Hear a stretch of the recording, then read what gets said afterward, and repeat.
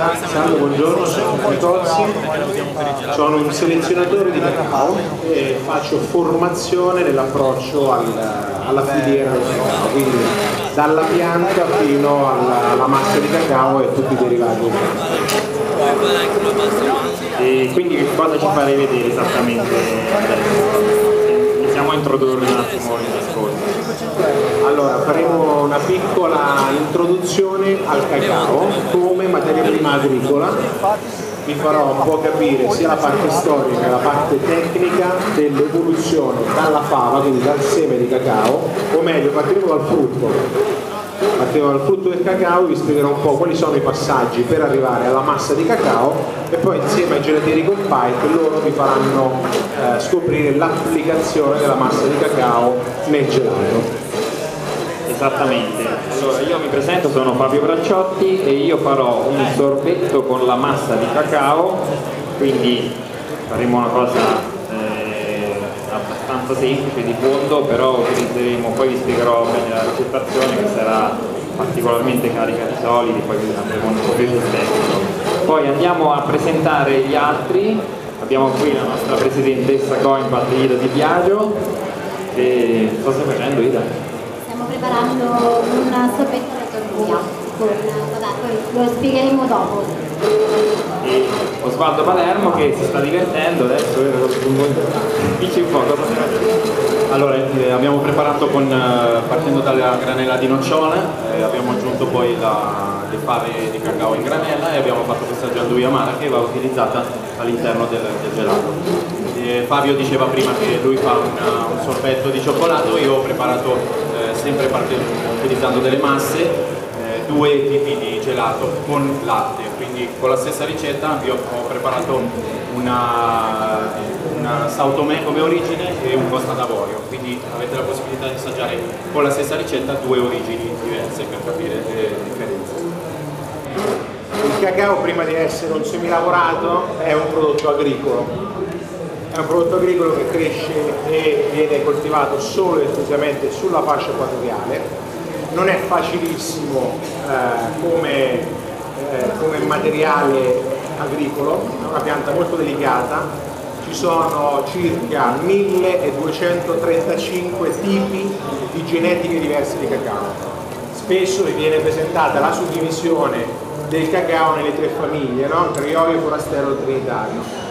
Quello lì fu un grandissimo errore botanico fatto da G.B. Pound, che era un, un agronomo inglese, il quale non capendo lo spagnolo andò a selezionare le, le tipologie di cacao che trovò sull'isola di Trinidad e li chiamò Trinitario nella categorizzazione, sbarcato in Venezuela vide che c'erano altre tipologie di cacao chiedendo che cosa sono queste, loro dissero questo è il cacao criollo, che in spagnolo è il cacao nostrano, uno va al nord, che cos'è? È prosciutto nostrano, non è prosciutto di noce quindi lui nominò il crioglio, il cacao che si trovavano in Venezuela. Nel momento in cui si imbatté un cacao amazzonico, chiedendo agli agronomi venezuelani, dice questo che è? Ah no, questo è forastero, è forestiero. Questo ha in qualche maniera confuso molto le idee. Serve molto commercialmente perché poi nel tempo ha acquisito dei significati diversi. Diciamo che il crioglio e il forastero vengono definiti quei cacao aromatici e i forastero sono i cacao meno aromatici. Anche in questa divisione ci sono tantissime incorrettezze, perché poi noi ad esempio oggi eh, Osvaldo farà due gusti con due cacao che vengono definiti forastero, che però sono due cacao aromatici. Una melonado di Sao Tomé, che è un cacao molto particolare, e un bivò, che è un cacao liguriano molto piccolo, è una fava selvatica, poi c'è qualcuno che l'ha vista in Carcagione. Eh, qual, è, qual, è, il concetto? Vi basti sapere che nel cacao ci sono 10 famiglie genetiche. Da queste 10 famiglie genetiche si, si partono tutte le suddivisioni dei cacao che troviamo in giro per il mondo. È come per il vino stessa identica cosa, quindi già incominciare ad approcciare in maniera diversa al cacao. Io devo ringraziare tantissimo la Compite, ma ringrazio in generale i gelatieri, perché devo dire che noi facciamo formazione, io lavoro nel mondo del cacao da 16 anni e faccio formazione anche a pasticceri, cioccolatieri. A oggi l'unica categoria che abbiamo trovato in grado di recepire veramente il concetto del cacao prodotto agricolo sono i gelatieri, perché fondamentalmente nel grande mondo della dolceria sono quelli che lavorano la materia prima agricola e questo è un dato di fatto, non perché sto alla, al festival della gelatina, lo dico anche ai pasticceri. Eh, I paesi, l'Italia da questo punto di vista dovete sapere che l'Italia ha una storia lunghissima del cacao. Il cioccolato nasce, il cioccolato, quindi cacao più zucchero di canna, nasce nel 1590 sono delle suore spagnole che aggiungono lo zucchero allo xocoatlo, all'acqua amara di cacao. Prima di quella data c'era un milanese, il Benzoni, nel 1585 che girando il mondo assaggiò questo xocoatlo e disse par più beveraggio più maiali che più gli uomini perché in Italia c'era già una grandissima tradizione de, uh, di dolce legato allo zucchero di canna perché la, la, dolceria siciliana è una di quelle più famose? Per un motivo semplice, perché Federico II sviluppa la coltivazione della canna da zucchero. La Sicilia è stato dal 700 d.C.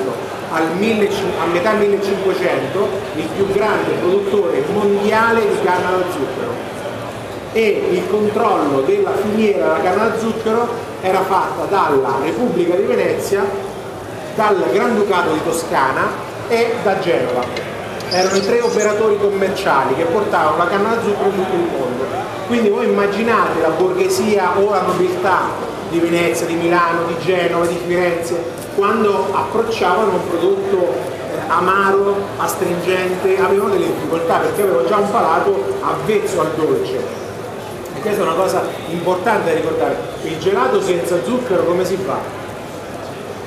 Perché il gelato, la Sicilia? Perché la canna da zucchero veniva coltivata dappertutto. Dove c'erano gli aranceti si coltivava canna da zucchero, canna mela è la pianta della canna da zucchero. Tant'è che è rimasta nella tradizione italiana come l'indicazione della spezia, la canna mela.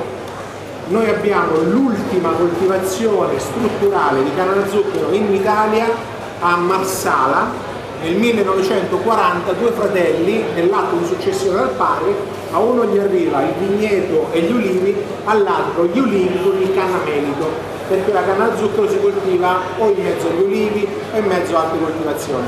Anche in Africa, che è il primo produttore per l'approvvigionamento italiano, si coltiva tranquillamente in mezzo alla coltivazione del cacao, del caffè, in mezzo ad altre coltivazioni, sono dei campi. Perché è importante sapere questa cosa? Perché proprio la grande conoscenza dello zucchero ha fatto sì che nel 1606 in tutti i testi spagnoli, poi notate che nel 1600 voi se volevate assaggiare cioccolate lo trovavate o alla corte di Spagna o in Italia, non c'erano altri posti nel mondo dove potevate assaggiare cioccolate. E perché in Italia? Perché noi avevamo la canna da zucchero. I testi spagnoli nel 1606 dicono come le due città dove si mangia, dove si beve la miglior cioccolata del mondo sono Venezia e Firenze. Perché? Perché c'erano gli archiatri che erano un po' farmacisti, erano un po' gastronomi, erano un po' gelatieri, erano quelli che sperimentavano la parte salubre del cibo. Per oggi noi è una riscoperta, no? dobbiamo curarci con il cibo. Nel 1600 questa cosa, questo problema non esisteva, per loro era chiaro che il cibo era una medicina, se voi andate a vedere alla Maiani di Bologna, ancora nell'archivio storico c'è attaccato al muro c'è il, il, prezzario dove c'è scritto nel 1700, eh, 1798 cioccolato pettorale, cioccolato omeopatico. Il cacao e il cioccolato sono da sempre un alimento di salubrità. Quindi gli italiani che fanno? Sperimentano i primi due grandi sperimentatori sono stati Antonio Carletti il fiorentino e Francesco Redi aretino. Sono quelli che inventano l'inflorage, il passaggio degli aromi dal fiore vivo alla massa di cacao o altri prodotti. Sono quelli che iniziano a modificare la tipologia di raffinazione della materia prima. sono quelli che iniziano in qualche maniera a capire come funziona il cacao. Un altro grandissimo nella storia del, del cioccolato mondiale è stato Vincenzo Corrado. Vincenzo Corrado era lo sperimentatore, l'archiatra della, eh, dei Borboni. Lui nasce a Grottaglie nel Salento e poi va a lavorare a Napoli. È lui che fa il primo eh, ricettario strutturale in cui specifica addirittura per ogni tipo di cacao da piantagione diversa quale ne fosse l'uso non è che con ogni tipo di cacao si può fare tutto. Noi oggi abbiamo sia un artigianato che un'industria nazionale che stanno ricominciando a presentare varie tipologie di cacao, ma siamo ancora molto indietro rispetto al 1600 al 1700. Nel 1700 ti scrivevano nella ricetta se tu dovevi usare il soscomusco della lacandona, che è un tipo di cacao coltivato in una piantagione perché con quello ci potevi fare il cioccolato in tazza, l'altro che non si addensava lo dovevi tagliare con il belize. Quindi è una conoscenza che va riscoperta. Diciamo che la storia italiana è stata in qualche maniera cancellata a partire dall'autarchia. Quando non è più stato possibile far arrivare fave di cacao in Italia, sono sopravvissute solo due tessuti forti. Si è bruciata? due tessuti forti, quello piemontese perché hanno potuto integrare la coltivazione, la coltivazione con la nocciola e quello siciliano della zona di Ragusa, Modica, perché lì hanno mandorle, pistacche e nocciola, quindi sono dei semi oleosi che hanno integrato in qualche maniera gli impianti e gli artigiani. Bologna, c'ha la Magliani, che è un pezzo di storia importantissimo perché è la più antica azienda di cioccolato europeo e non ha mai cambiato rotta, ancora oggi è gestito dalla famiglia Magliani.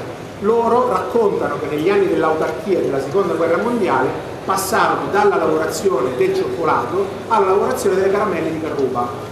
La, fu la carruba che permise all'azienda di sopravvivere. Non fu così per tante altre aziende in giro per l'Italia. La cosa bella è che in tante città si sta riscoprendo la tradizione. Genova è una città dove ci sono due aziende storiche che hanno rimesso in piedi gli impianti antichi, Piacenza, ci sono tante città che stanno ricominciando. Speriamo ce ne siano sempre di più, piano tanti gelatieri riprendono a fare il gelatiere tu pure, perché poi anche nei testi di gelateria, se guardate i testi del 600, non c'è scritto il gelato al cacao, c'è scritto il gelato col cioccolato. Perché molto probabilmente il gelatiere lo faceva il cioccolato e lo faceva così. Allora arriviamo qua io per vedere le tempistiche come faccio se no io vado allora come fate in museo allora questo è il frutto del cacao si chiama cabossa o mazzorca eh, questo qui un, questi qui sono due cacao particolari sono due cacao della Colombia ve li porto, l'ho presi sette giorni fa, nella regione della Rauca. La regione della Rauca è una delle regioni che fino a poco tempo fa era sotto il controllo completo delle FARC. Quindi sapete adesso il, in Colombia c'è la pacificazione, i guerriglieri hanno deposto le armi e si è potuto iniziare ad entrare in quelle aree. E abbiamo trovato dei cacao antichi, da piante di 70 anni, abbandonate nella foresta, che però hanno dato dei cacao pazzeschi, con un bouquet aromatico molto ampio. Questo qui è l'Arauchita, è uno dei cacao più pregiati che si trova in zona. Qual è, cosa fa molto la differenza sul bouquet aromatico? La presenza o meno del tasso di polifenoli.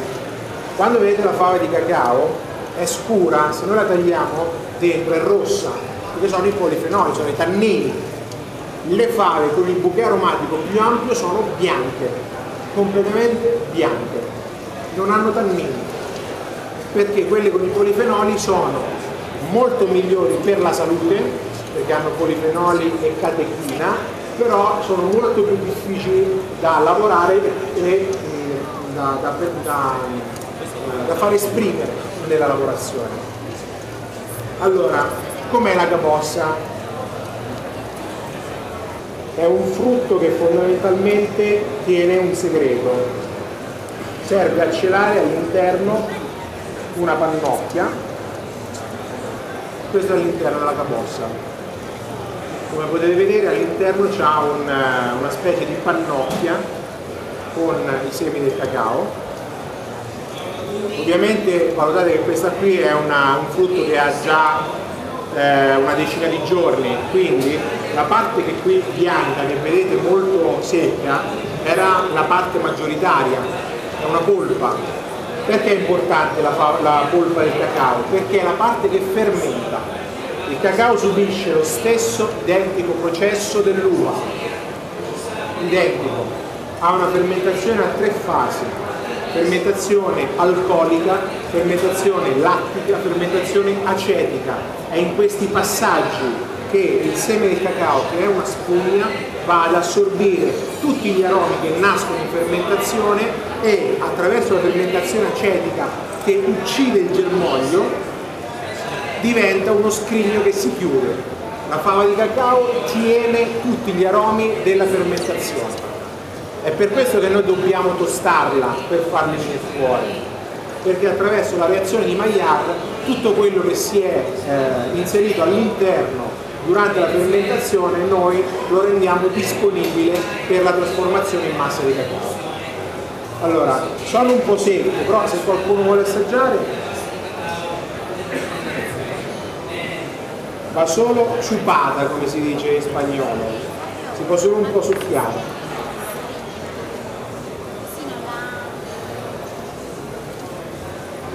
valutate che è un po', è un po stantia, eh? Lo vuoi?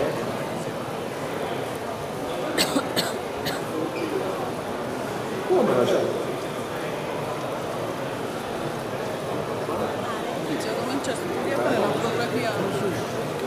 Sì, doveva fare la Valutate che questa qui, ora assaggiate qua, volete andare in piantagione. No, no non, è, non, è, propriamente vero, c'è un'azienda nel, nel, bolognese che fa importazione di frutta fresca, ce n'ha un tipo solo, però intanto se qualcuno vuole assaggiarla può, può provarla. Ha ancora un po', eh. No, non la masticate, eh. Oddio, dai.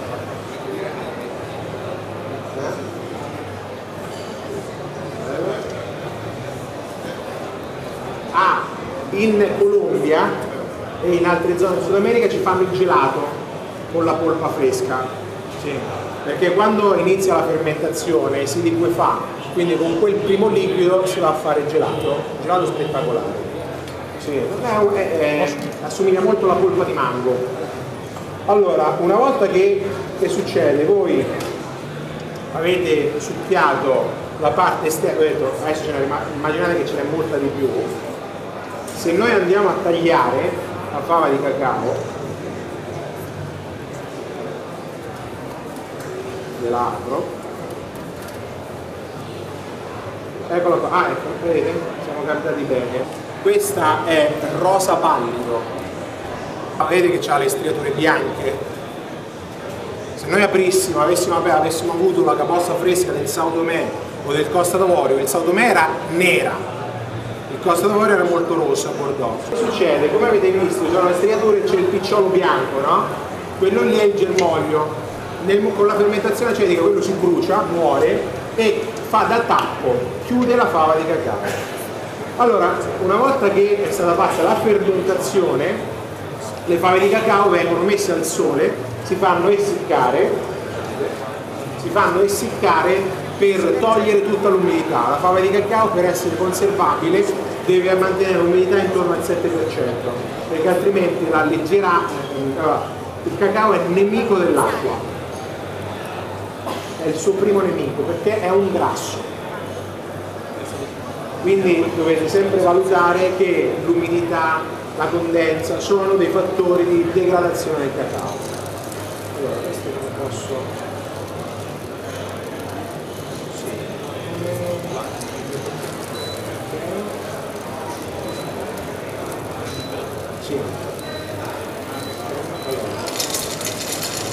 Allora, una volta queste sono fave essiccate. Vede? No. Sono fave essiccate al sole per togliere l'umidità per renderle, eh, per renderle trasportabili senza problematiche di contaminazione. Nel momento in cui noi andiamo a fare la tostatura è una fase molto delicata della lavorazione del cacao. Voi valutate che una delle differenze fondamentali tra eh, la maggior parte delle aziende italiane che lavorano il cacao aromatico e gli stranieri è che in Italia c'è un'attenzione particolare alla tostatura bianca del cacao. Quando si va spesso, quando avete quei cioccolati molto astringenti, sono dei fondenti alti che hanno una stringenza forte, vi asciugano la bocca e chiedono acqua. Quello lì è perché è stata fatta una sovratostatura, Sono, hanno caramellizzato e poi hanno bruciato la parte grassa. Quindi in quella maniera hanno rovinato una delle parti aromatiche. Però sono degli stili, perché eh, come dicevamo prima, in Italia il cioccolato è sempre stato con due ingredienti, fave di cacao, zucchero di canna negli altri paesi c'è stata la industrializzazione del processo. Per industrializzare il processo c'è necessità di una reologia diversa, quindi la vischiosità del prodotto deve essere molto leggera per poter passare in impianti grandi e sono state, si è andato verso le coperture spinte. Qual è la differenza tra un cioccolato all'italiana e un cioccolato di copertura? Nella copertura alla eh, parte cacao viene aggiunto burro di cacao estratto da un altro tipo di materiale agricolo.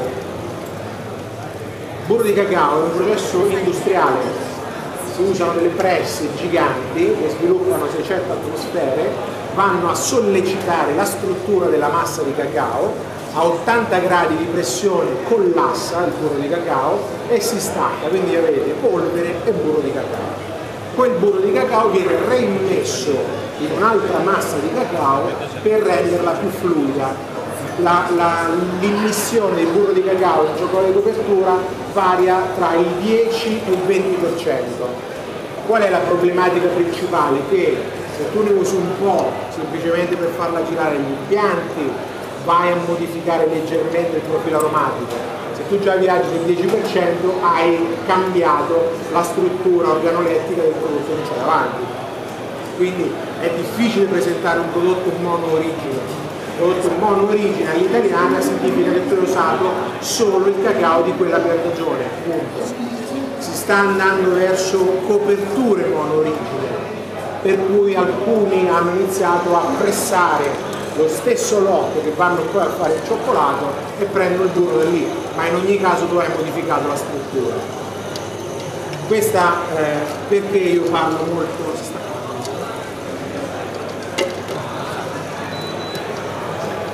Perché io parlo di cioccolato all'italiana? Perché c'è una filosofia diversa di approccio.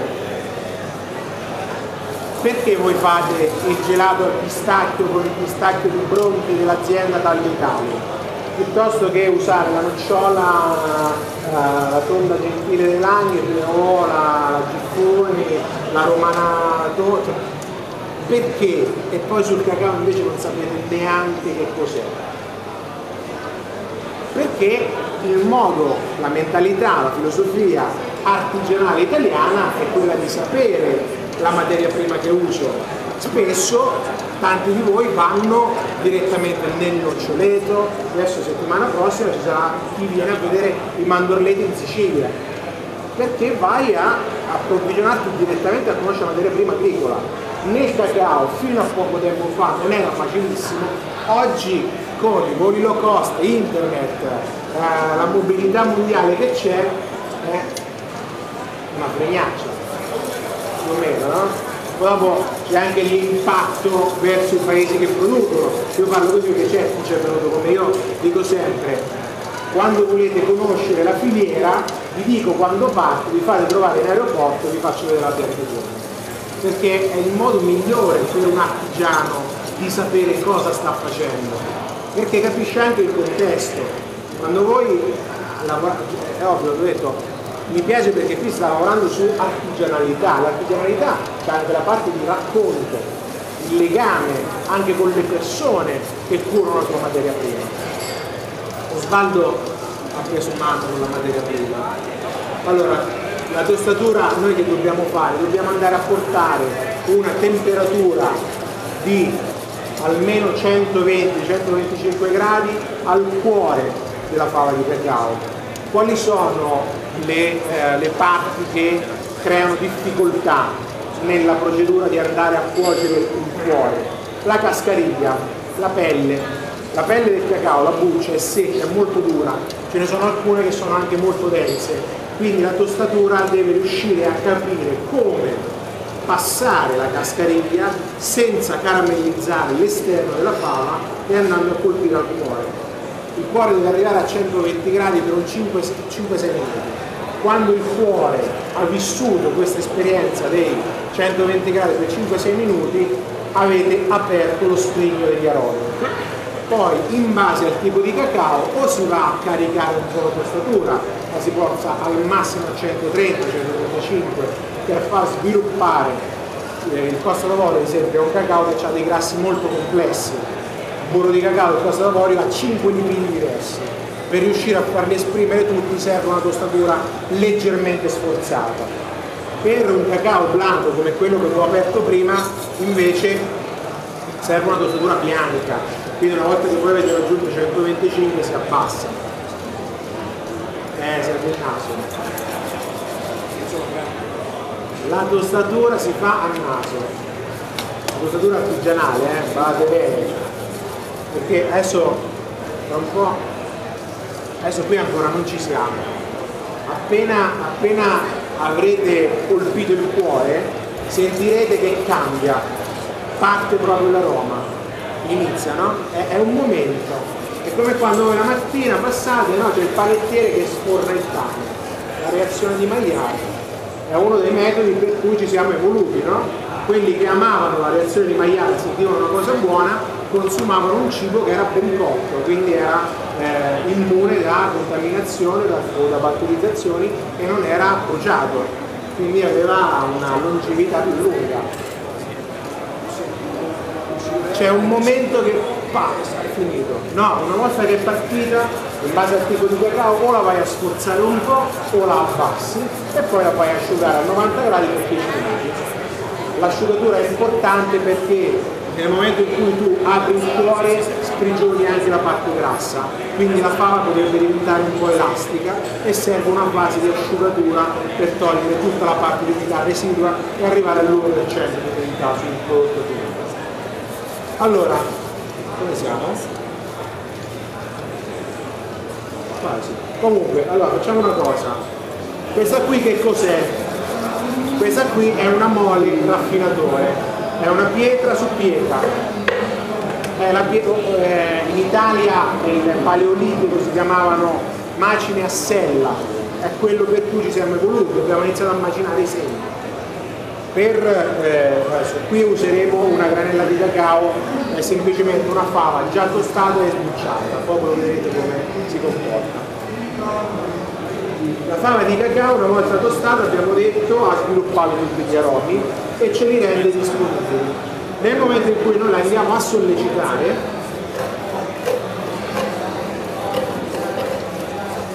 la fava di cacao si trasforma, cambia stato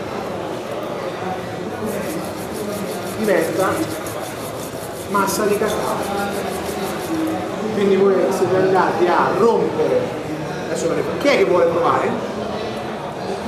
Teo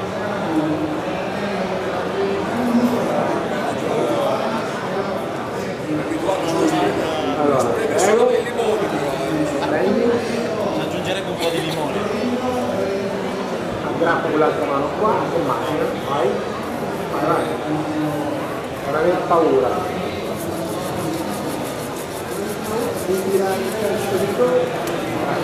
Tanto esce subito. Ovviamente essendo qui al freddo e al cielo mi sono tutelato. Come vedete sotto ci sono delle candele. Perché il burro di cacao a, a che temperatura scioglie? a 26 gradi che è la temperatura ambiente, la, la temperatura della bocca, del palatale prima e ultima, prima e ultima. Ci siamo. Sei rovinato la mano. Vai, vai, fai il sorriso. No, falla vedere, scusa.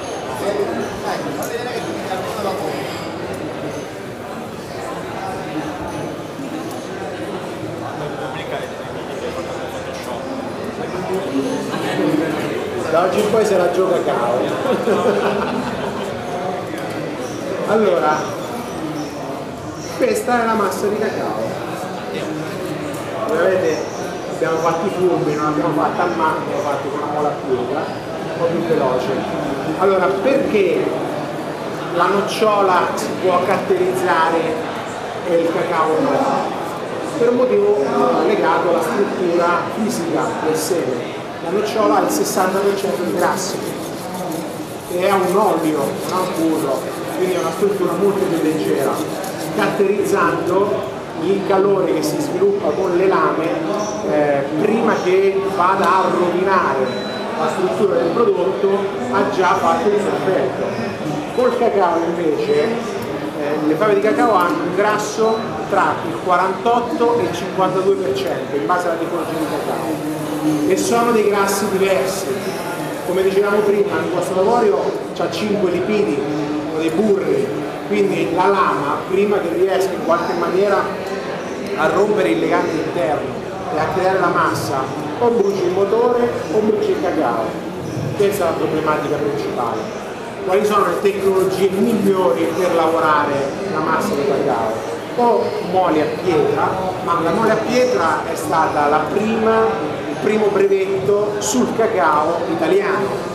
Nel 1804 un genovese, Bozzelli, modificò le macine per le olive per la famiglia Caffarelli. Caffarelli, Caffarelli è il nome commerciale, la famiglia Caffarelli. Gli modificò le macine per poterle applicare all'uso del cacao, quindi fare massa di cacao. Da lì ha cambiato misura, diciamo che le ultime molli fino a 7-8 anni fa in Italia non si producevano più, le ultime prodotte erano le famose battagioni che si facevano poi con, con dietro delle Dolomiti erano le macchine, ancora oggi ce, ce le ha, insomma chi ce le ha o chi è che le ha recuperate sono bellissime, non sono molto modulari, sono bestie così, sono quelle che vedi nei musei storici, no? Sono belle, però insomma, non è che si possono usare benissimo. Eh, quella è una tecnica, e adesso diciamo che all'estero si è ricominciato prima a fare le mulazze, adesso si è ricominciato anche in Italia, ce ne c'è soltanto un'azienda però le fa abbastanza in maniera abbastanza funzionale, anche se non si è arrivati a fare quelle piccole da laboratorio, ci si arriverà perché ci sono arrivati gli stranieri e stanno iniziando a fare concorrenza, quindi anche le aziende italiane adesso stanno iniziando a svegliarsi.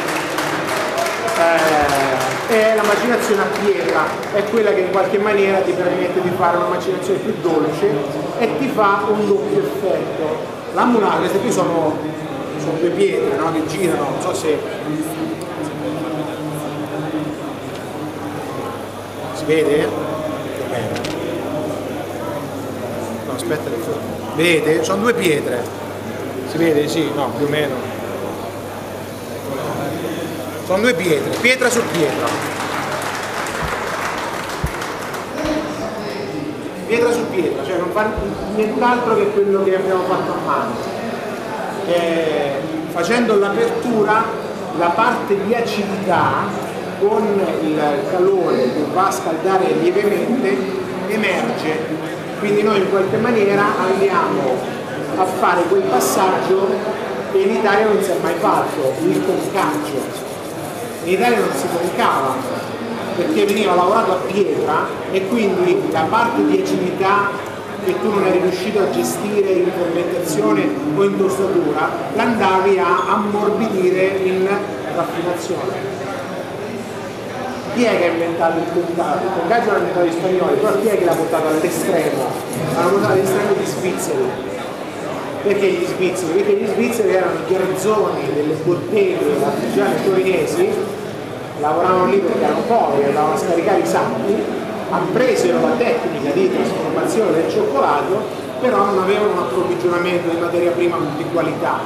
Quindi arrivava, so, il cacao fallato, quello che aveva fatto una brutta fermentazione, aveva preso delle umidità, erano dei cacao difficili da lavorare. E quindi cosa fanno? Inventano questa concaggio lungo per due tre giorni. Qual è il problema fondamentale del concaggio quando si va a lavorare con una materia prima aromatica? che se tu un concaggio lieve è una fase stilistica che puoi fare per ammortire una spigolatura di un aroma piuttosto che un altro. La concatura, quella a un giorno, due, tre, cosa fa? Toglie acidità ma toglie anche aroma. Tu appiattisci il prodotto rendi un prodotto standard e quindi a quel punto a cosa serve che io vado in piantagione, controllo la fermentazione, so che piantagione so come riscerarla, non ha senso. Come stiamo messi? Io taglio, ok, tagliamo. Eh, ecco, qua ci siamo quasi, eh? ci siamo quasi. Allora, lascio, lascio subito. Eh, quindi qual è il discorso? Che la, anche oggi, anche aziende italiane che lavorano con il mulino a piglie, che è uno dei migliori raffinatori che in meno tempo riesce a fare un lavoro migliore, eh, hanno delle tecniche per non concare. Fanno una parte di raffinazione a una temperatura data, ognuno ha delle scelte diverse e quindi tolgono quella punta di acidità eccessiva ma mantengono tutta la parte aromatica. Perché è importante la parte aromatica? No. Allora, perché è importante la parte aromatica? Perché anche nel momento in cui poi voi andrete a fare una lavorazione partendo dalla massa di cacao, avrete un bouquet di aromi diversi. Ogni tipo di massa vi darà un gelato diverso, vi darà un sorbetto diverso. Stessa cosa, qui abbiamo fatto la gianduia partendo da massa di cacao, nocciole in massa, gianduiotto nasce così. È sede a Torino, i Savoia volevano continuare a mangiare cioccolato, cosa fanno i ciocolatieri sicurater piemontesi? Sostituiscono quel poco cacao che gli era rimasto integrandolo con la nocciola. Quindi resta il colore, resta quell'aroma di fondo, ma fondamentalmente hai creato una struttura diversa. Il gianduiotto è molle, ma il gianduio si faceva dalle fave di cacao. Anche il pelo è che purtroppo è induzione un po' più difficile da... però ci siamo eh? inizia a sentire la l'acidità allora per la parte gelato però la passo a voi allora,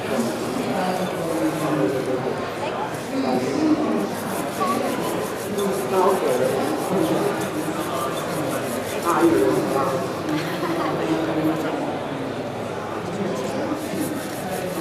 Sì, facciamo anche fare le coppette. Allora niente, il- quello che stiamo servendo è un sorbetto sorbetto al- alla massa di cacao. In realtà qui ho forzato un po' la mano, nel senso che come, come sorbetto, come potrete notare, ha una percentuale di solidi molto alta, quindi ho, ho voluto un po', un po' giocare, ovvio che in gelateria non fai una cosa di questo tipo. Qui ah, siamo su una percentuale di solidi che siamo vicino al 50%, quindi andiamo oltre al concetto tradizionale del gelato come, come discorso.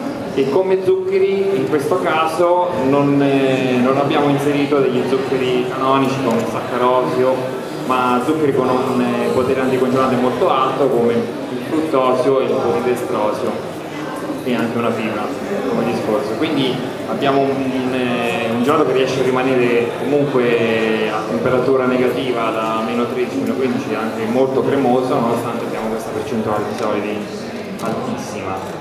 E, e niente, tutto qui. Ecco, il cioccolato in questione in questo caso eh, non il suo purtroppo perché non l'avevo, però eh, eh, è un cioccolato che viene da- dall'Ecuador, è una massa di cacao, come dicevo prima, e quindi questa è la struttura che abbiamo adesso.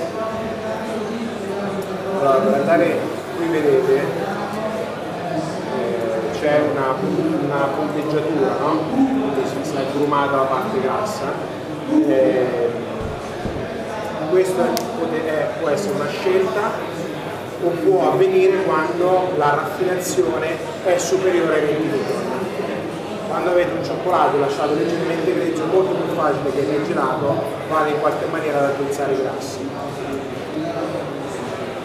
Infatti eh, tu hai detto una cosa molto interessante prima eh, sul discorso della differenza dei grassi che, che poi hanno di diverse, diversi cioccolato, diversi di cioccolato, cacao. e- Tranne cambia. boh, cambiano verranno, esatto, cambia. Questo è un concetto non facilissimo da trovare poi come documentazione, no? A creare una ricettazione, fondo sì. No, questo non ha, non ha fibre, non ha proteine. Pure così, non ha, non ha ha- dimmi.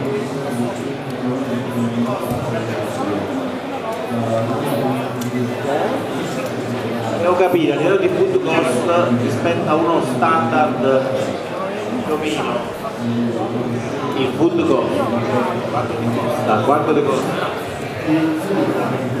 Beh, ovviamente qui abbiamo, avendo il 51% di solidi, diciamo su una ricettazione abbiamo inserito un, eh, una massa di cacao molto alta, questo considera che siamo sui circa 490 grammi per chilo di massa di cacao, quindi ovviamente il costo è molto alto, non è 490 grammi. Di tratte. E il costo è molto alto, ovvio non è un prodotto che tu puoi avere al banco e venderlo allo standard, è, è un prodotto che io ho fatto oggi perché era un contesto diverso, non è, non è una cosa che non è come, come avrebbe detto qualcuno, non è un sorbetto. Sì, diventa quasi una è ovvio, sì, sì, Questo l'avevo già detto all'inizio, eh, va oltre al concetto di un gelato questo.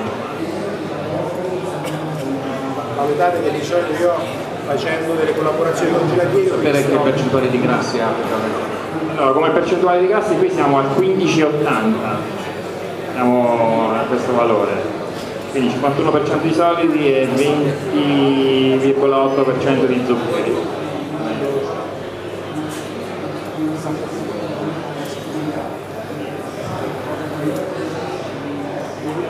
La, la, sabbiosità, come diceva lui, è come diceva lui, dipende da, da come viene lavorato in origine. C'è da dire una cosa, io ho visto le ricettazioni di solito che fanno sulla massa di cacao variano tra il 10 e il 22% massimo. Tu in questa maniera vai a sforzare la struttura perché Sì, qui è stata una forzatura voluta proprio, ma siamo andati molto molto oltre. eh, c'è un, eh, ad esempio, c'è un gelato sperimentale che io ho visto dove si va a lavorare senza zucchero, o meglio non si usa saccarosio, eh, con, eh? Ah, finito qua. sì. Ah, sta finito. E la carruba ha un effetto particolare con la massa. C'è un, ci sono delle lavorazioni, si chiama estratto di carruba, che è un estratto dalla polpa della carruba che è un, è un, è un come definirlo? È uno scirocco, non è uno scirocco perché non viene aggiunto zucchero, è uno scirocco che viene fatto per infusione dalla polpa della carruba quell'estratto con massa cacao e acqua crea una struttura molto omogenea. Non vedete la perdita del, del. Grazie maestro Palermo. Puoi sentire? Qua siamo andati qua siamo andati leggermente fuori. Qua siamo andati leggermente fuori. Purtroppo sì, con l'induzione è, è difficilissimo. Allora, se volete fare delle- dei tentativi con, eh, che so, avete fave di cacao, potete fare tranquillamente la tostatura con forno a convezione. Nel caso in cui non dovesse averlo in laboratorio, perché magari non fate lievitate, queste cose qua, potete farlo a casa. Classico forno a convezione ventilato con teglia a griglia o con teglia normale se non ce l'avete, mandate il forno a 130 gradi, aprite, inserite dentro, quindi sarete scesi a 120, 118, portate a 125, in 7 minuti a un certo punto sentite proprio l'aroma che si sprigiona. Da lì abbassate e tirate fuori. Se voi prendete queste fave di cacao, a chi è che le vuole sbucciare? Ma forza. Facciamo così.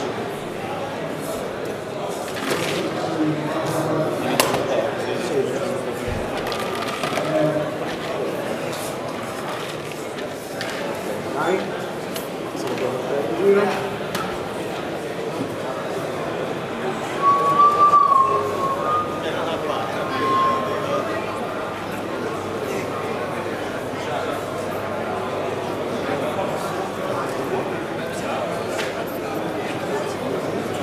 Allora, do- dopo magari a, a chiusura se volete rompere le scatole non so come si mette qua Sì, sì. se volete vedere eh, come vi dicevo prima quando io parto eh, lascio sì, potete anche non mangiarla sì, sì. Allora, cruda eh, più che altro è un problema perché non sapete se è debatterizzato o meno. Allora, qual è la problematica principale dal punto di vista sanitario delle fave di cacao?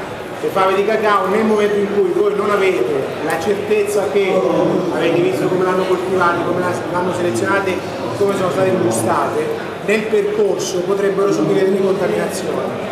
Parliamo sempre di contaminazioni lievi, cioè, cioè parliamo di contaminazioni pesanti, al massimo vi viene un problema gastrointestinale, però comunque per un artigiano che fa, che è sottoposto a- a- ai protocolli HCCP deve avere anche questa cura. Perché ho detto la tostatura a 125 gradi?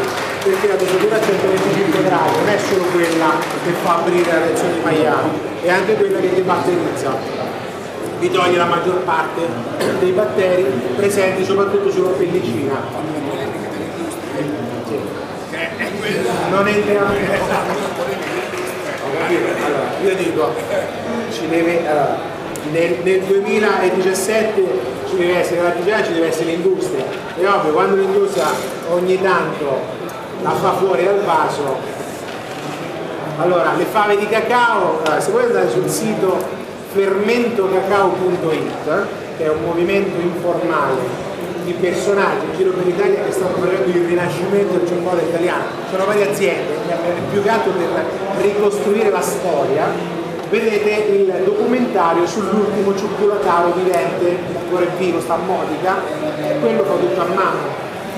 Lo tosta, sbuccia, mette lì, non c'ha protocolli di varia natura, fa una cosa che a Modica fanno da 423 anni, non è mai morto nessuno, lui ha quasi 90 anni, sta in perfetta salute, quindi insomma.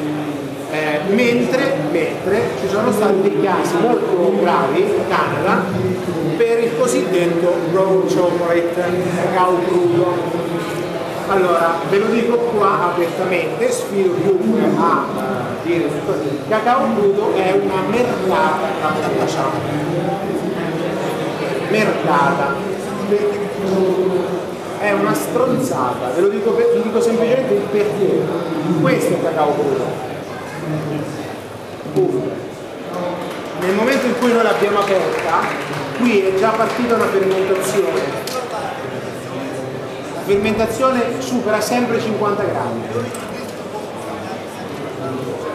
Allora, io, io rispetto il crudismo quando è scientifico, quando invece è una buttata commerciale e soprattutto io mi trovo a dover pagare 180 euro al chilo un cioccolato cattivo di sapore che tra parentesi nessuno ha mai dimostrato che ci abbia dei benefit di salubrità perché noi abbiamo fatto le analisi con eh, l'industria farmaceutica naturale italiana.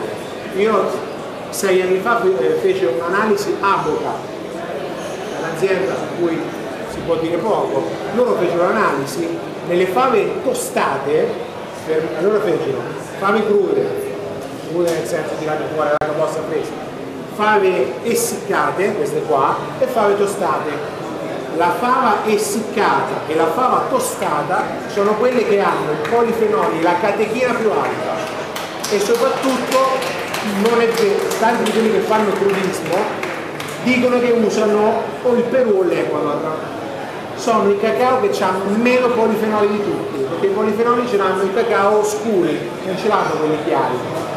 Quindi dicono tante fregnacce di seguito che eh, purtroppo hanno un mercato. Quindi a un certo punto è successa questa follia per cui l'artigiano italiano che fa un prodotto di eccellenza, di qualità superiore, conoscendo il processo, non riesce a vendere il proprio cioccolato al prezzo che gli permetterebbe la sostenibilità. Ma fare cioccolata all'italiana non ci si canta, almeno oggi. ha una remunerazione talmente bassa per poter stare sul mercato italiano e non ti permette di camparci se non hai un'attività accessoria.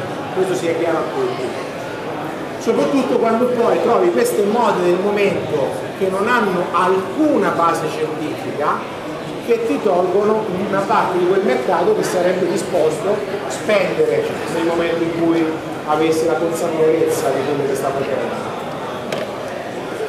Poi dopo sul cacao crudo eh, mi fa capire anche il, la malafede di chi lo fa. Scrivono sulle loro etichette burro di cacao crudo. Allora, per fare la massa di cacao devi tostare il cacao, perché sennò la massa non esce fuori. Per estrarre il burro è una macchina a pressione, se non sviluppa 80 gradi non collassa, è scienza. Se non supera 80 gradi non collassa, quindi che cosa significa burro di cacao crudo? Boh. Lo so. Adesso qualcuno ha iniziato a hanno fatto un'etichetta diversa e ci scrivono raw con il minimo impatto. Siccome in Canada ci stanno due persone che sono all'ospedale, perché poi facendo questa tiritera tu non vai neanche a sanificare il prodotto, poi metti mantecato. Alla fine il gelato funziona anche senza mantecatura, no? Verrebbe fuori, no? Pastorizzato, scusate, perché non pastorizzato? viene potrebbe farlo uno usa il latte puro, viene, no? Non è che non viene. Sono delle regole di salubrità. Nel momento in cui tu vai a sanificare le fave di cacao e le lavori, c'è gente che va all'ospedale. Adesso, siccome in Canada ha iniziato a fare la legge sul, sul discorso crudo, sta iniziando a partire questo, questo, grande, questo grande dibattito. Allora, come vi dicevo, Qua invece siamo andati sul Gianduia? Sao Tomé dopo allora. Allora, abbiamo detto Gianduia. Perché Gianduia con massa di cacao? La Gianduia è fatta con la massa di cacao. Cioè, Gianduiotto nasce perché alle fave di cacao, una volta che avevano macinato a mano una parte del, del cacao, mettevano le nocciole, macinavano le nocciole, impastavano, quello è il giardino. Eh, tant'è che non so se lo sapete, assumevano le signorine che facevano il giandugliotto, prima che venisse inventata la macchina a estrusione, gli facevano un colloquio strano, gli toccavano le mani.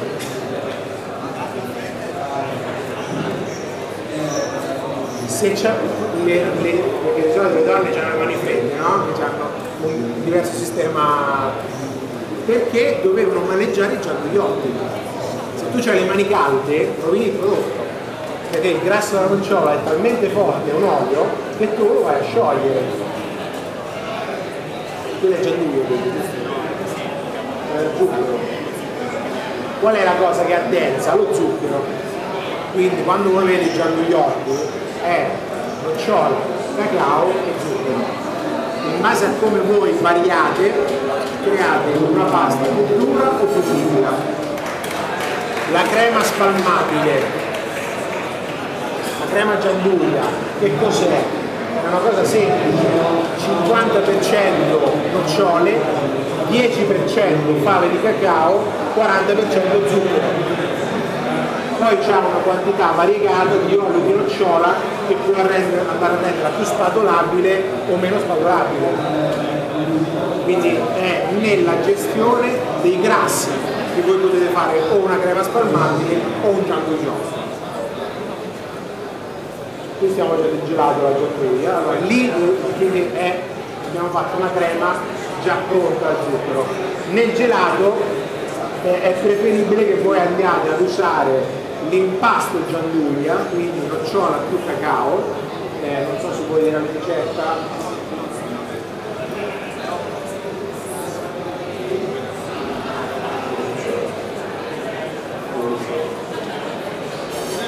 per capire se uno volesse provare a rifarla. Ok, adesso la, la troviamo. Allora, questo caso è un sorbetto, quindi non abbiamo utilizzato il latte, o meglio, è un gelato senza derivati del latte, dove come zuccheri abbiamo utilizzato il saccarosio, eh, destrosio e glucosio in pasta. L'abbiamo miscelato, quindi abbiamo un procedimento di riscaldare l'acqua, di sciogliere gli zuccheri e poi abbiamo realizzato, ci siamo portati avanti la mm, gianduia. Quindi abbiamo utilizzato il metodo della granella di nocciole con l'aggiunta di granella di cacao. Stai cercando il mio foglietto? sì. Allora, ehm, il mio telefono, vediamo. Suonava prima.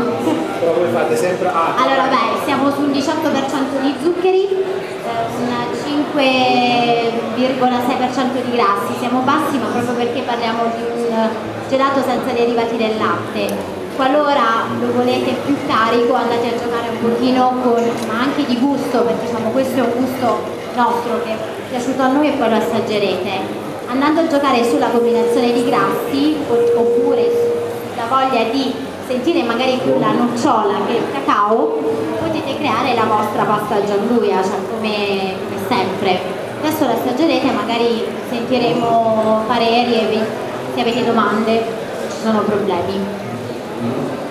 una cosa, quello che diceva prima Fabio, voi per avere la di solito sulle nocciole la, la scheda nutrizionale è molto precisa, quindi nella vostra, quando andate a costruire la vostra ricetta facendo la somma dei grassi è abbastanza veritiera. Sul cacao no, perché per legge la scheda nutrizionale delle masse di cacao si fa una volta l'anno. Il problema qual è? Che ogni tipo di lotto di cacao ha una caratteristica diversa, può variare anche del 3%, che in una ricetta di gelato magari si deve creare una stabilità di 2-3 giorni, cambia fondamentalmente se non c'è un pozzetto. Qual è la cosa? Alcune aziende, soprattutto quelle italiane, se voi glielo chiedete, fanno anche, fanno anche la valutazione sul lotto. Quindi vi dicono, questo lotto qua ha 48% di grasso. Eh, vi rende la vita leggermente più facile. Restando sempre, restando sempre, eh, sempre sul fatto che dovete chiedere principalmente se la scheda nutrizionale è stata fatta ponderata o analitica. Ponderata significa che c'è stato un tecnico alimentarista che ha valutato i grassi, non sono andato a fare un'analisi specifica. Se invece magari hanno fatto l'analisi, la, la- la scheda analitica e l'hanno fatta qualche mese prima è abbastanza veritiera. Questo perché vi dico, spesso quando fanno le schede ponderate non le fanno neanche su quel tipo di cacao, le fanno su un cacao, lo usano per diverse masse. Quindi è molto importante che chiediate, uno, se una scheda nutrizionale è ponderata e due, se hanno la scheda analitica magari fatta di recente. Questo vi permette anche di poter costruire meglio la ricetta. E in quella maniera voi valutate che nel momento in cui andate a fare la gianduia, il grasso del cacao si somma all'olio della nocciola. Sono due grassi molto compatibili, quindi fondamentalmente viene definita proprio gianduia, quindi un altro prodotto, perché si amalgamano in maniera omogenea. Spesso qualcuno nel proprio laboratorio va a fare la crema spalmabile, al vasettino, sotto Natale, cede il grasso. Allora, uno, le creme spalmabili vanno bilanciate come il gelato. Seconda cosa, dove per tutelarvi, cui andate a fare una crema spalmabile con cacao, con fave di cacao, andate a fare il temperaggio. Come si tempera il cioccolato? Che cos'è il temperaggio? Il temperaggio va a distruggere la struttura molecolare primigenia del cacao e la ricompone con quella dello zucchero. Quindi voi da cacao e zucchero create un altro elemento che è il cioccolato. Il cioccolato è una cosa diversa, un derivato del cacao. Stessa cosa con la gianduia. Nel momento in cui voi andate a smemorizzare le molecole dello zucchero che si incastrano con i grassi della gianduia, con il temperaggio rendete la struttura stabile quindi la scaldate circa a 30 gradi 28-30 gradi la buttate sul piano spatolate fino a quando non siete scesi a 21 e poi la riportate a 26 in quella maniera la avete resa stabile.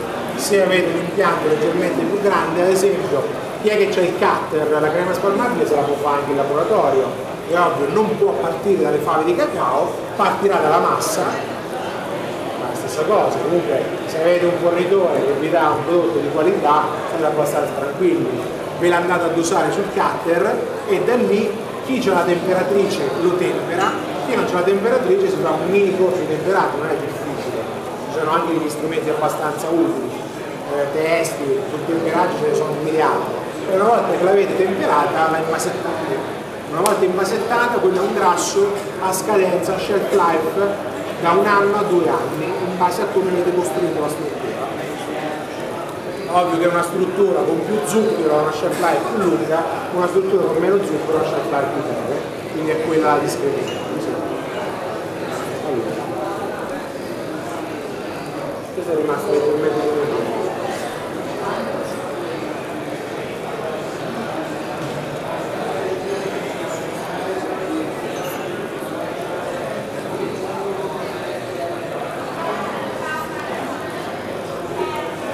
Allora, domande?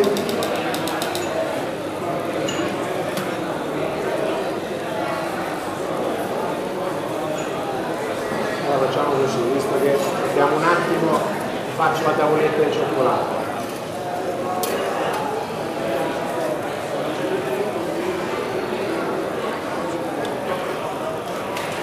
Allora, dicevamo che anche l'integrazione dello zucchero quando voi conoscete il cioccolato modicano, no? Tanti lo conoscono.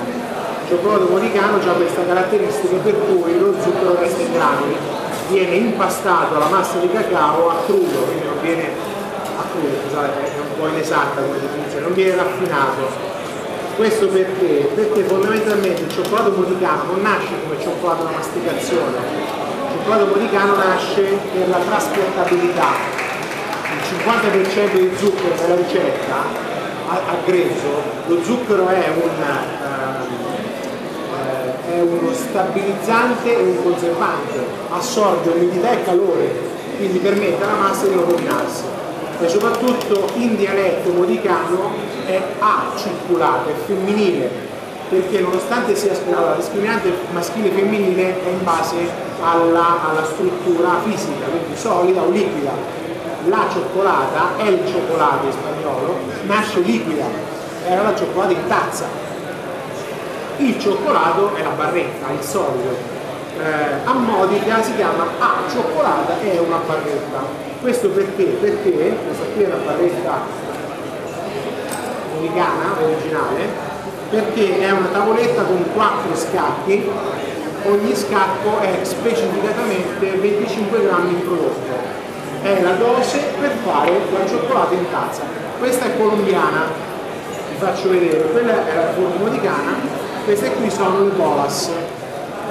Ve lo devi passare usate, queste le fa una signora che sta... Oh, c'è due bolas. Due bolas, due bolas. Questa qui è una bolas del Huila, una ricetta, se voi la passate, che si faceva? Acqua calda, bolas, e poi con il moliniglio si girava, si faceva, si miscelava e si tirava fuori la schiuma e si beveva. A Modica lo facevano come tavoletta, come barra. Eh beh, adesso, adesso, lo fanno tutti, ovviamente quello che è il marketing bisogna anche accettarlo. Allora, una volta che noi abbiamo raggiunto una buona reologia del cioccolato,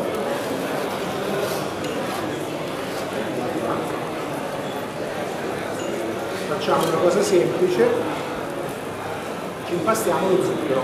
Io dico sempre, per fare il cioccolato all'italiana dovete usare il zucchero di canna. Perché anche nella scelta... No, qualcuno sta ricominciando. Qualcuno sta ricominciando. piano piano si sì, sì, sì. Dopo è ovvio, valutate che lo zucchero di canna, eh, quello integrale, perché valutate una cosa, quando parliamo del cioccolato, è ovvio che nel 600, nel 700 non lo facevano con zucchero di canna bianco, lo facevano con l'integrale, quindi aveva una parte di umidità. Come facevano a non far uscire i pallini di grasso? Lo tostavano quindi diciamo che se noi oggi andassimo a assaggiare un cioccolato fatto da Francesco Redi nel 600 sarebbe un sapore che ci lascerebbe la bocca aperta perché era anche una gestione della tostatura dello zucchero di canna per togliere l'umidità. Allora una volta che noi abbiamo impastato massa di cacao e zucchero andiamo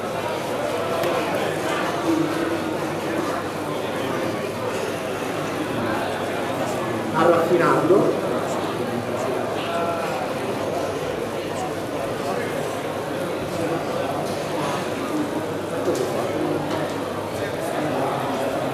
e ci siamo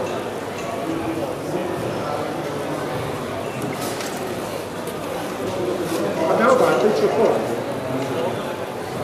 è ovvio che più olio di gomito e più diventa raffinato è anche una scelta lasciare spesso lo zucchero in maniera più grezza eh?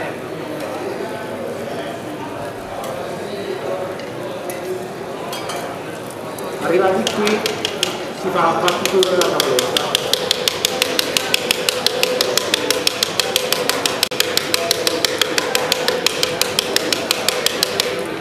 questa fase è molto importante uno perché per poter far staccare il cioccolato dalla- dallo stampo deve essere omogenea deve, deve aderire perfettamente alla superficie. Abbiamo un crispetto mettiamo po' dovrebbe no allora il temperaggio serve nel momento in cui tu devi andare a eh, creare una conservabilità a lunga durata del cioccolato e a mantenere la luce in cui tu devi fare un cioccolato che poi sarà da squaglio, da scioltitura per la bevanda. O lo vai a consumare fresco, il temperaggio non serve. Il temperaggio è quel passaggio che te lo struttura per rendertelo conservabile e bello. Perché poi quando eh, si vedono quei cioccolati leggermente patinati che magari non hanno nessun problema eh, però eh, il cliente no, si è rovinato, ha fatto la muffa snack, no, la, la- la rottura del cioccolato non è tanto legata al temperaggio quanto al tipo di raffinazione se tu hai fatto una buona raffinazione, quindi hai creato un prodotto omogeneo, una struttura omogenea, c'hai infatti è uno dei parametri di gustazione perché in quella maniera tu vai anche a capire come ha lavorato l'artigiano. È ovvio che a livello industriale è molto più regolare come però un artigiano che ti fa un bel cioccolato con un snack importante significa che ha fatto un buon. Spesso però, ad esempio, questo, questo comunque è una massa temperata, in alcuni casi le masse non trovate temperate, hanno delle striature, ma non è che toglie nulla, anche perché nel momento in cui tu lo vai a ritrasformare, perché comunque dovrai andarlo a sciogliere nel, prodotto, la massa, poi c'è una cosa, dopo in gelateria diciamo che abbiamo visto che varia anche quando si lavora con produtto che mantiene al vaso. Se tu metti la massa in discesa o in salita cambia, perché comunque è un grasso. Come lo vai a sollecitare col calore potrebbe dare un, un risultato positivo o un risultato negativo. Ho visto che spesso quando viene messo in, in salita qualche volta c'è della struttura del grasso quindi la ma- il, gelato finale ti dà qualche patinatura un po' brutta.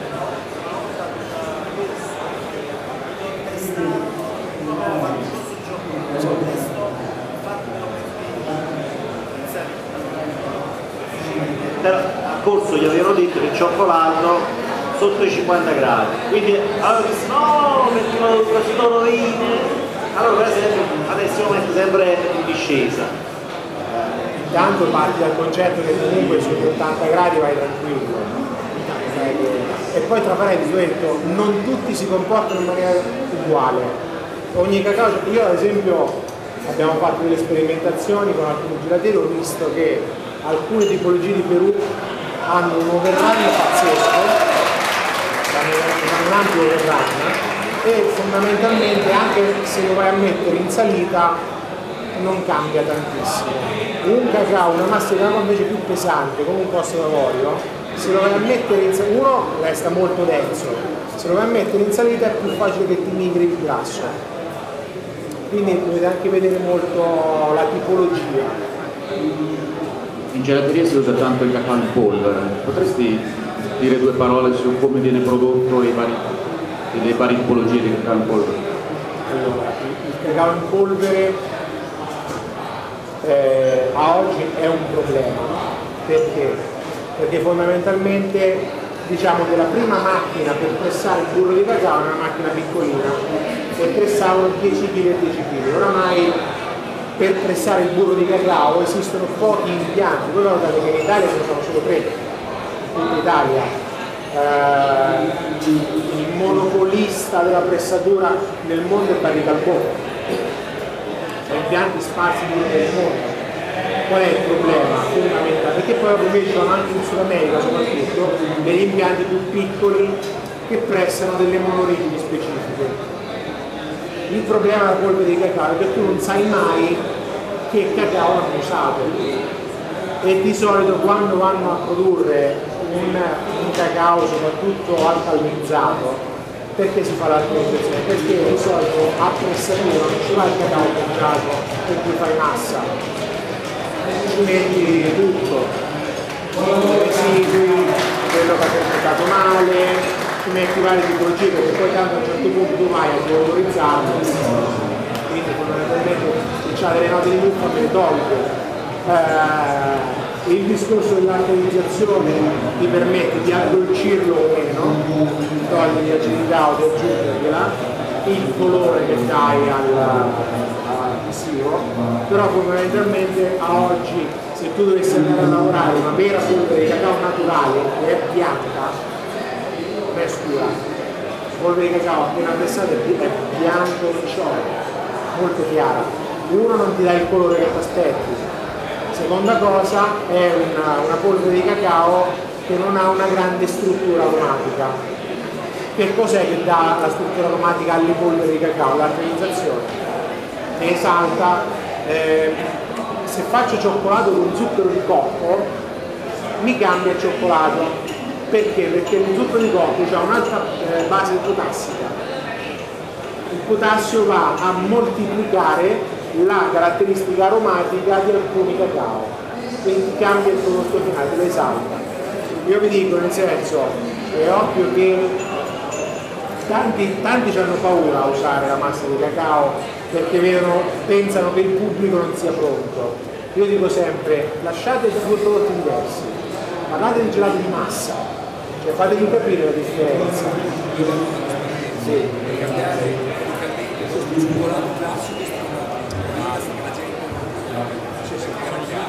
Poi abbiamo iniziato a fare un poster e ti dico che vanno vendute, sempre anche più quello scuro perché però però quello scuro poi aumenta. Sì, sì, Aumenta? Aumenta? Il colore passi il microfono. Volevo chiedere, eh, c'è sempre stato questo discorso che la base va, eh, sto parlando di gelato in questo faccio un gelato, faccio una base di cioccolato, i 90 gradi, bisogna raggiungere questi 90 gradi o è una cosa che non serve a niente?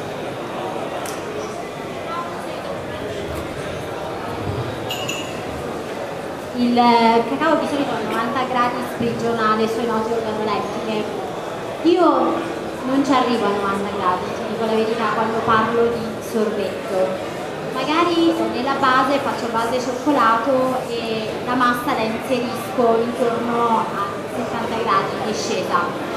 In discesa. per un discorso di mio gusto.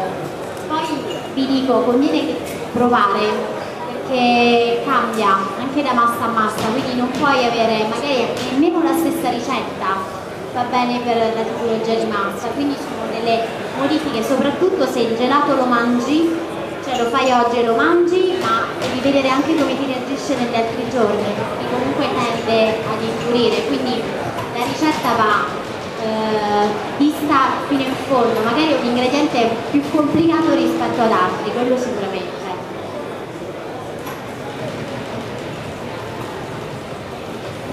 Vi faccio la domanda che faccio sempre, che io ho una certa predisposizione, ma il cacao in polvere è un prodotto di scarto? Dipende chi lo fa. Io, io ad esempio, no, no, no, allora, eh, in alcuni casi non è un prodotto di scarto. Sono, adesso ultimamente mi è capitato un produttore in Madagascar che prende solo puro Sambirano ci sono due aziende venezuelane che premono sul della... generale nasce come prodotto di scarto perché fondamentalmente tu vai a premere il burro perché la parte no, sì però è, non è precisa come indicazione nel senso perché è un prodotto di scarto anche come lo si va a lavorare eh? nel senso nasce come prodotto di scarto perché comunque quando inventano la pressatura loro volevano il burro. Nasce proprio di scarto però dire oggi che comunque è, sia ancora quello non è, non è esatto.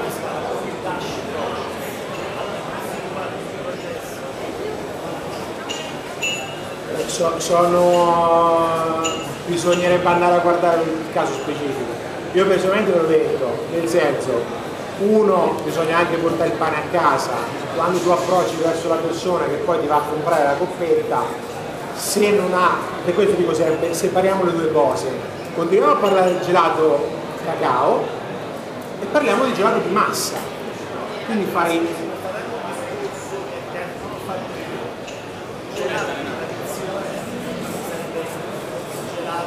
cacao sì. e gelato contemporaneo che potrebbe essere la massa o quello che è.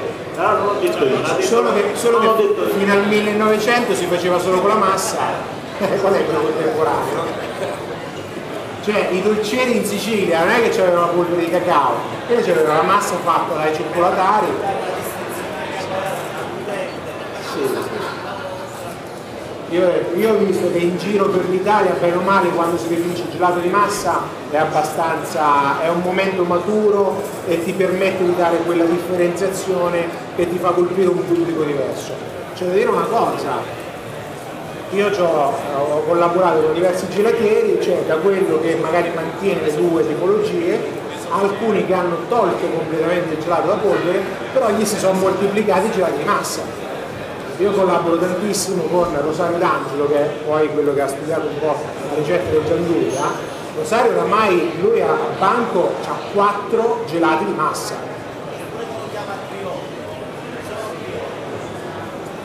Sì, dopo, allora, io secondo me invece va preferito la conoscenza specifica del cacao, perché poi alla fine anche parlare di criollo è una categoria invece devi andare proprio sulla tipologia, anche perché ogni tipo di massa di cacao ha dei comportamenti diversi e ha un aroma, un'aromaticità diversa. La, la, gli arriba dell'Ecuador di solito hanno questa forza di frutti rossi molto marcata che se uno la sa fare esprimere col sorbetto va bene secondo me l'arriba ad esempio col latte perde mentre quando tu vai a fare un latte con un, un costo d'avorio o con, con dei sur del lago è un'esplosione, sembra proprio un matrimonio fatto ad hoc.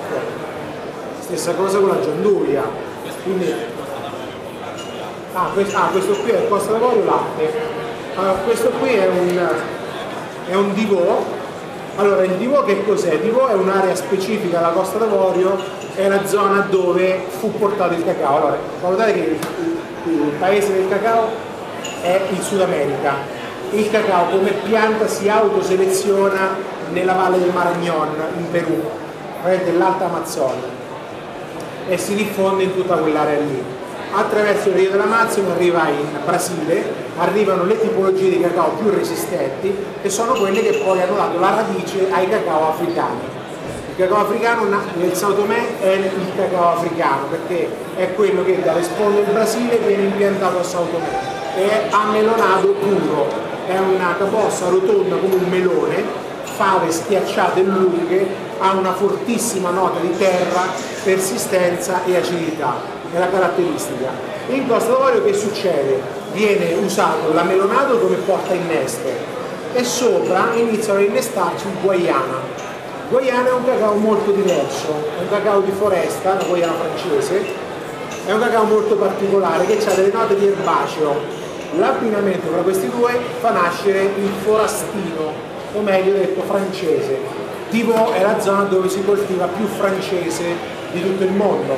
È un tipo di cacao diverso, ha, come dicevo prima, ha delle caratteristiche lipidiche molto forti, molto strutturate e ha, proprio questo sentore, quando becchi la partita buona, sa di nocciola.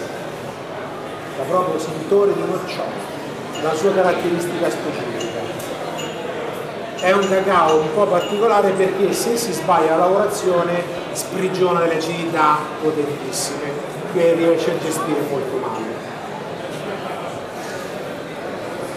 Ah, allora, Alessandro Attivi, non so se lo conoscete, un altro dei membri della Compagnia Gelato, quando vi dicono venite a vedere, lui è venuto con me un mesetto fa in Costa d'Avorio e ha potuto vedere uno la varietà di piantagione, due la varietà di processo, perché poi qual è il concetto di fondo? Il mio problema principale con la polvere di cacao qual è? Che se tu vai a lavorare la polvere di cacao stai usando un cacao pagato poco. Un cacao pagato poco significa che il coltivatore porta a casa poco e lavora male di solito i sudamericani sono dei cacao più pregiati, non solo perché la genetica già parte da un'università, e anche perché voi valutate che all'origine il cacao sudamericano parte già da borsa da 3 dollari al chilo, bordo campo. Agli africani quando glielo pagano un euro al chilo stiamo già verso alti livelli. Le aziende, alcune aziende italiane che pagano bordo campo due, tre volte il prezzo del mercato ottengono prodotto diverso, anche perché quello che deve fare il cacao deve campare, nel senso che campano tutti. Per, qualcuno prima parlava del, del costo, mi ricordo, food cost, no? Allora, il food cost varia molto anche, uno dalla resa, un chilo di massa di cacao Perù ti fanno molto più gelato, ti fa molto più gelato di un, di un costo d'avorio quindi dopo devi vedere anche la resa. Seconda cosa vai a vedere anche che tipo di ricetta fai. Se fai un uso base acqua cioè una resa, se fai un uso base acqua, base latte c'è un'altra resa. Io vi dico, io ho visto ottimi risultati intorno al 13%. Un gelato di massa se è ben studiato già al 13% vi dà qualcosa. C'è una cosa che 15, diciamo che al 20 fai sentire le differenze. 18 20 eh, io sopra 22 non ho visto nessuno non so se voi andate oltre sì, sì. Allora, diciamo che di solito nessuno perlomeno fino ad oggi non ho visto nessuno che va sopra il 22% sul, sul totale della ricerca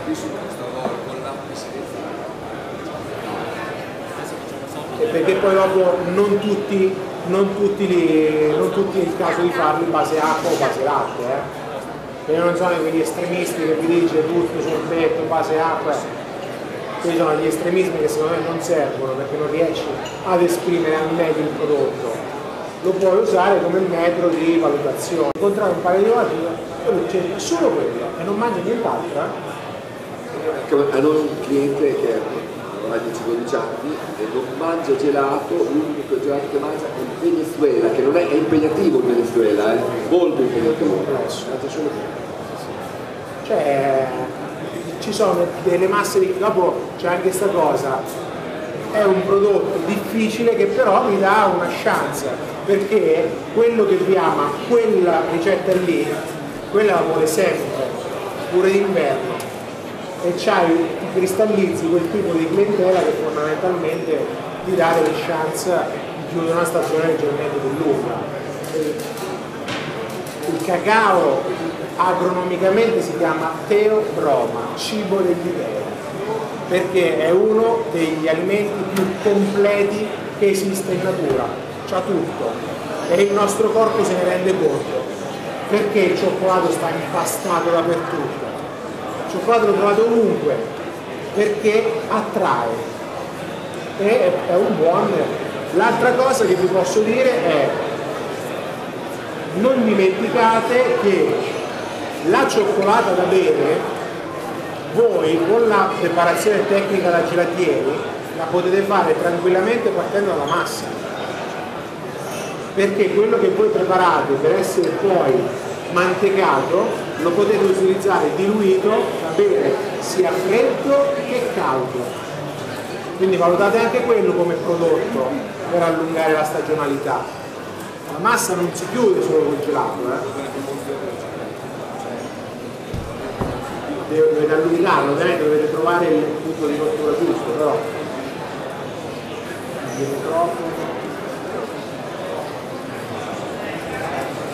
Eh, io vorrei tornare al tuo discorso iniziale, parlavamo di prodotto agricolo. Come facciamo noi, produttori, produttori di gelato, a tutelarci eh, per avere un prodotto con una fermentazione idonea, corretta, della fava di cacao, cioè noi parliamo di aromaticità, però il problema iniziale dove viene fuori l'aromaticità della fava di cacao è proprio la fermentazione, il primo step, giusto? Sì. Ecco.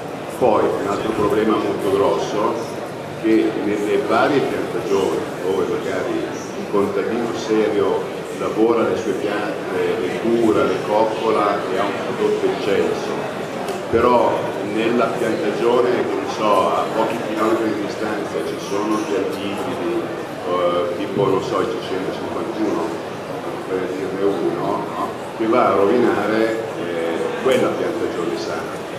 Noi che compriamo la fava, come ci possiamo tutelare?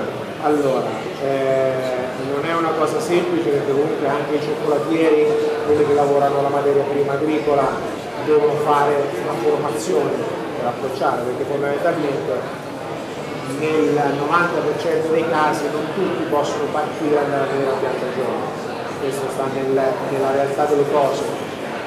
Alcune aziende hanno un controllo di filiera più stretto. Io vi dico, quando approcciate un'azienda che vi fornisce una massa o comunque anche una copertura, se vi sa indicare specificatamente la piantagione e il processo, già lì c'hai delle garanzie superiori. Nel momento in cui tu volessi andare a lavorarti le fave direttamente, dovresti incominciare ad apprendere le tecniche di analisi come il cut test e l'analisi sensoriale di ingresso. Non è difficilissimo prenderli. Eh, noi ad esempio eh, da, anno, da, due anni abbiamo costituito in Italia Fermento Cacao, che è un movimento eh, di tante realtà italiane che, fanno, che lavorano a fave di cacao e facciamo dei corsi periodicamente anche per dare a persone che poi magari alla fine non andranno a lavorare le fave, però vogliono sapere cosa fanno avanti, diciamo che con una mezza giornata già una possibilità di approcciare, di analizzare un sacco che ti arriva a te già chiuso, eh, ce l'hai, riesci a capire se c'è stata una buona fermentazione se c'è delle problematiche di essicazione e se è un prodotto che ha, ha troppa acidità. Perché poi un'altra analisi molto importanti, e questo invito a farlo perché molte aziende lo fanno, soprattutto italiane, sia grandi, medie che piccole, è una cosa in Italia abbastanza diffusa, fanno l'analisi sensoriale con panel test. Quindi di ogni lotto di cacao fanno l'assaggio attraverso l'assaggio, lavorando in certa maniera, si riesce a capire anche se la fermentazione stata fatta bene. È ovvio, c'è da una cosa, se tu vai a lavorare una massa di cacao, la problematica l'hai scaricata addosso a quello che l'ha trasformata. Nel momento in cui tu vai ad approcciare la fave di cacao, quindi fai una formazione, anche quando ti trovi di fronte a un sacco che oramai l'hai comperato, perché il mercato delle fave di cacao non è proprio libero, non è come nocciole, voglio comprare un chilo, mi compro un chilo. Fave di cacao di solito almeno un sacco te lo devi comprare, non è facilissimo prendere pochi quantitativi. E il sacco spesso capita che ti hanno mandato un campione del 2020 2010 che è diverso da quello che ti hanno venduto. Ci sono delle tecniche per riuscire a smorzare dei difetti più grossolani. È ovvio, quando capita il sacco fallato, fai finta che ti sei bevuti e è finita la festa. Cioè, la pianta fresca la potete vedere o all'orto botanico di Palermo o di Catania, però non fruttificano.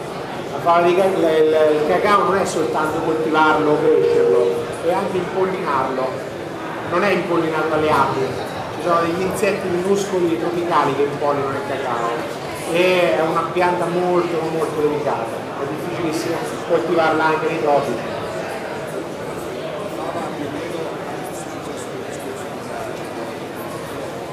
Sì. Il caffè in Italia viene, eh? Ah sì sì, uguale. A un certo punto quando c'è, se non c'hai un approvvigionatore che ti garantisce una certa qualità in determinata filiera, lì ti può andare bene e ti può andare male. Sì, sì. No, no, no, però con un fornitore di, di fiducia glielo rimandi, eh? No, no. Ah sì sì, quello è fondamentale. Io c'è, c'è un, ho conosciuto da poco, ho fatto una formazione a un, a un eh, cioccolatiere colombiano, faceva delle postature folli, ma questo è un pazzo curioso, spendeva dei resimi, dei cacao pregiatissimi e poi li rovinava tutti. E questo qua a un certo punto mi fa provare un cioccolato di aveva fatto 7-8 mesi prima una roba pazzesca. Mi dico, questo che cos'è? Non lo so. Cioè lui c'aveva, c'aveva sto sacchettino, gli erano rimasti tipo 3 kg e lui ogni tanto li centellinava un pochetto perché non sapeva più come ricostruirlo. Perché non aveva avuto il controllo di filiera, non aveva Aspetta, ah, no, non lo so. non aveva avuto il- la gestione di processo, non se l'era scritto? No, aspetta. Sì, penso. Boh, si sente. Allora, Alessandro adesso vi fa vedere alcune foto. Tanto tu le vedi le commenti che ci sono stati, quindi Vai. Queste sono le foto di piantagioni. Ok, no? Abbastanza devi avvicinarle, mi sa.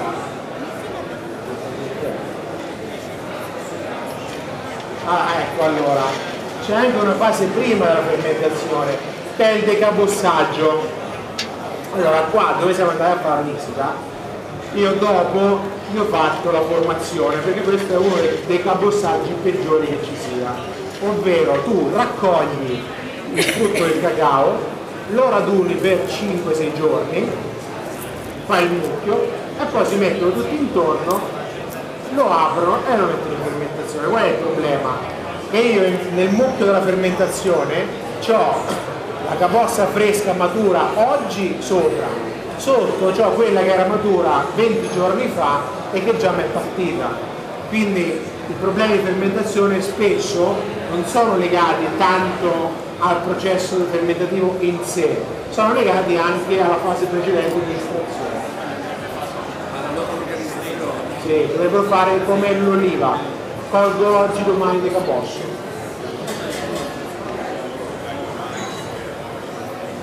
Sì, c'è anche dopo lì c'è il discorso dei furti, allora questo qua, eh, non lo vedo. aspetta, guarda questo. Ah, questo è un ghanese. Allora, poi spesso succede che nelle piantagioni i cacao non sono autofertili, nel senso che se tu metti due tipi di cacao vicini dello stesso tipo, non è detto che si possano impollinare, perché magari è un tipo di cacao solo femmina. Quindi come faccio io a eh, moltiplicare? Lo fanno soltanto in Messico, perché principalmente ci hanno avuto dei problemi ehm, ambientali e sono morti gli impollinatori.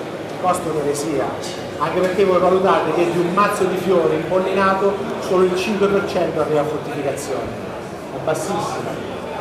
Qua già andiamo sul francese, che è quello di cui vi parlavo prima. Mercedes? Questo, sì, questo è un ibrido, un Mercedes. ibrido di Mercedes, sono i cacao ad alta produttività che vengono impiantati. Questo, Sì. questo invece è una- un frutteto, è un Ah, allora, la piantagione del cacao, eh, in mezzo, uno vengono messe piante femmine e piante maschi. Ad esempio l'arauchita è uno dei pochi cacao che si può piantare in monocultura perché è autoimpollinante. Le altre invece vengono messe i maschi e le femmine. In mezzo, allora, come si fa la piantagione di cacao? Sì, questo è, autoimpollinante. Eh, la piantagione come si prepara? Sul terreno si stende il banano o il platano. Accanto alla pianta del platano si mette la piantina del cacao già germinata. Per due anni il banano cresce, il cacao cresce sotto deve essere protetto all'ombra.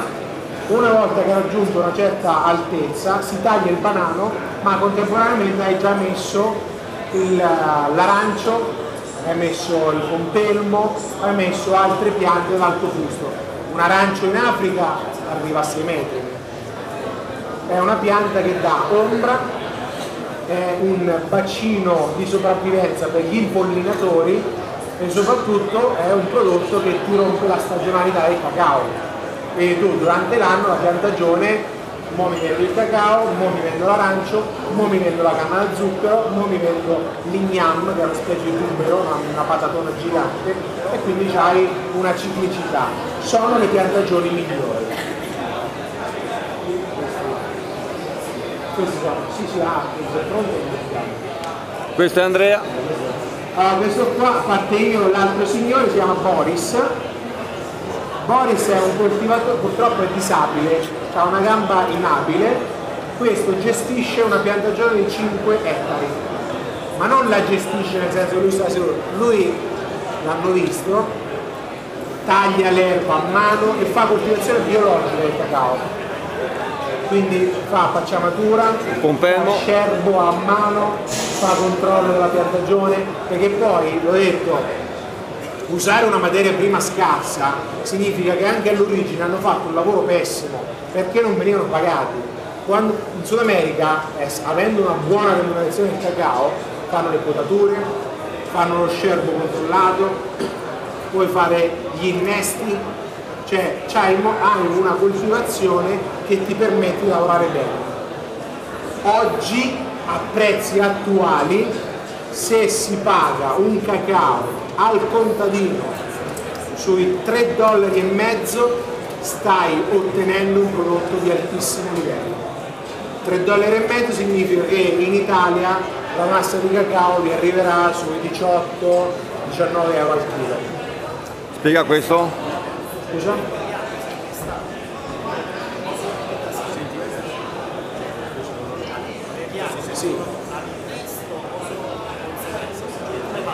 No, no, no, vengono- viene fatto in, eh, in vivaio. Vivaio e poi si innesta. Si mettono dei porta innesti, di solito sono delle piante con... Sì. Cioè, come la vite. La vite fanno la barbatella, no? Pistacchio. Cioè c'hai la barbatella della radice più forte e ci innesti l'aroma, quello che cerchi tu. Spiega questo? Questa ad esempio è una fermentazione a foresta. Praticamente viene scavata una buca a scivolo, si fa un'altra buca più profonda, mettono le foglie di banano, mettono tutta la massa in fermentazione e la prima colatura del succo in fermentazione lo raccolgono, ci fanno questo vino rudimentale. Che e questo? in Brasile ci fanno il gelato con la prima colatura. Quindi qua qua vedete insomma avete visto hanno decabossato e vanno a mettere tutta la massa di, eh, delle fave con la mucillagine nel montone di, eh, di fermentazione. E questa è la raccolta. e questo è quello che cola è una cosa molto naturale. Tra parentesi la fermentazione ultimamente stanno attivando a fare fermentazioni in acciaio non funzionano perché la, fermenta- la miglior fermentazione che si fa è quella in legno, in legno chiaro, perché il legno funziona come il vino, sviluppa quei batteri che permettono una fermentazione omogenea, completa e cedono degli aromi molto particolari al cacao. Fare una fermentazione naturale di solito è comunque meglio dell'acciaio, però non, è, ehm, non ha, non- non ha l'innesco di fermentazioni che può avere la cassa di legno. E qui eh, qua, come abbiamo fatto noi, anche loro lavorano direttamente. Uno dei lavori che faccio principalmente nelle piantagioni è proprio quello di far conoscere come si fa il cioccolato, perché soprattutto in Africa e in Asia i produttori di cacao non mangiano cioccolato, perché non ne conoscono la trasformazione. Allora, andiamo sul gelato e poi abbiamo chiuso. Qua invece abbiamo spinato. Andrea? L'essiccazione è finita. Questa è l'essiccazione al- a, a luce, al sole, durante il momento in cui si toglie la- l'umidità. Allora, lascio Osvaldo perché Allora, troppo forte. Avete, avete quindi assaggiato i due, due cioccolati su base latte. Il primo era eh, Costa d'Avorio, il secondo Tomé, con la stessa ricetta identica. Qua siamo circa un 21 di zuccheri, come soliti siamo 45 e grassi siamo intorno al 9, eh, sono 900 9,50. Quindi come? Sì, diciamo che eh, questa è una prova che abbiamo fatto per qua. Io in negozio lo faccio addirittura con più percentuale, arrivo anche al, diceva Andrea, al 19-20%, di conseguenza la differenza, qua siamo al 16 circa, quindi la differenza fra, fra le, fra le due origini si sente molto di più, diciamo. però così a me personalmente piace perché si sente, ma non è perché Sao Tomé fatto, poi vabbè, lo faccio in realtà su, su acqua, non, tendenzialmente non li faccio su latte, quindi eh, il risultato è questo. Non so come vi sembrano.